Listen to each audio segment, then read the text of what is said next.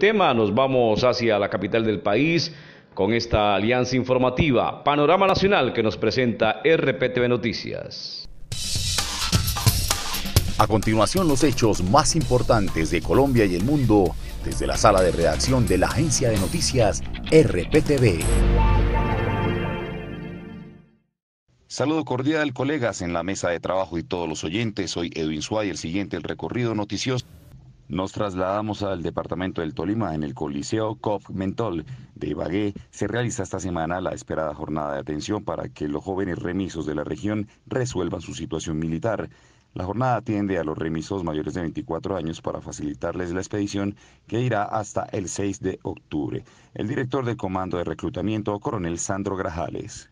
Esta jornada es en dándole cumplimiento al artículo 76 de la ley 1861, nuestra nueva ley de reclutamiento que fue sancionada el 4 de agosto, donde los señores que se encuentran en calidad de remisos a nivel nacional pueden lograr una amnistía. Aquellos que sean amnistiables, tales como mayores de 24 años, remisos mayores de 24 años, remisos exentos, remisos inhábiles para el servicio militar van a poder ser beneficiados en su calidad de remisos con esta jornada en la cual se van a condonar todas las sanciones, todas las multas, el cobro de cuota de compensación militar y solamente hacer una módica eh, cancelación de 111 mil pesos, que son los derechos de elaboración, producción y entrega de la libreta militar y obtienen su libreta militar en menos de 40, 50 minutos.